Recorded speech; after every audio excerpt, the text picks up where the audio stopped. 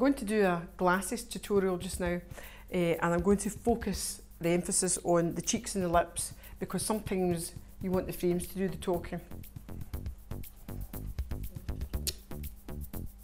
So we've already started by applying a primer on the eyes um, and this will help stop shadow from creasing because that's something you have to be careful about. I've also applied the concealer underneath the eyes and you have to be careful because if you've got any under eye shadows this will be amplified when you wear lenses. So I'm just applying a neutral highlighter in vanilla. Just in the corner of the eyes and up underneath the brow bone. And then I'm going to apply a slightly shimmery brown shade.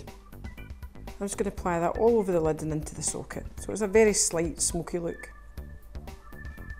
Just very soft.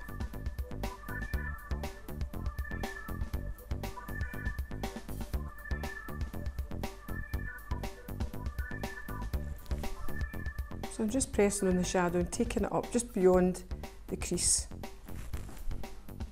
Now I'm just going to blend the edges. It's really just a wash of a nice kind of neutral brown all over the lid and into the socket.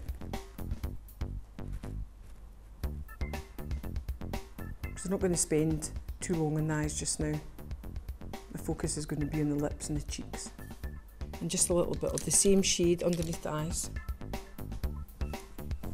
for me.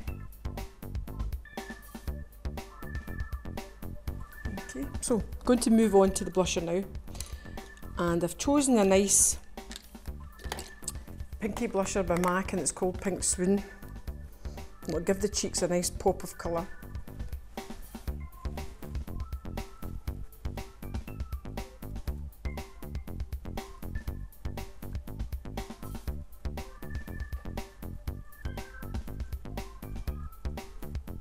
They're better to use matte textures as they won't crease.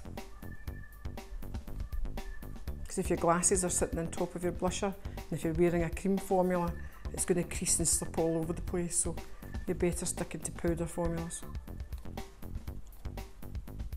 Sometimes your frames can draw attention to your eyebrows, so it's important to keep them well groomed and filled in.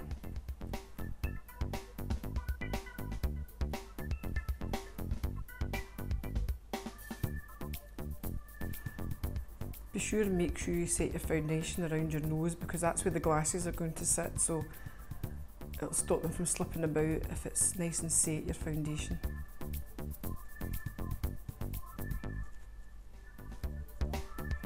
Onto the lips now, I'm going to choose a nice vivid pink and I'm going to use the Pro Longwear lip pencil from MAC in More to Love to line the lips.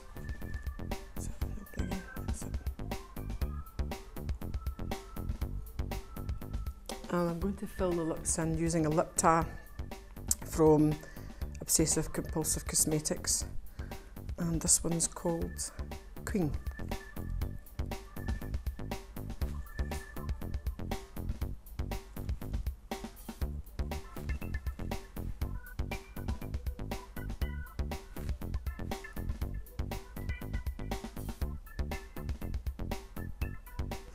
So we'll just pop the glasses on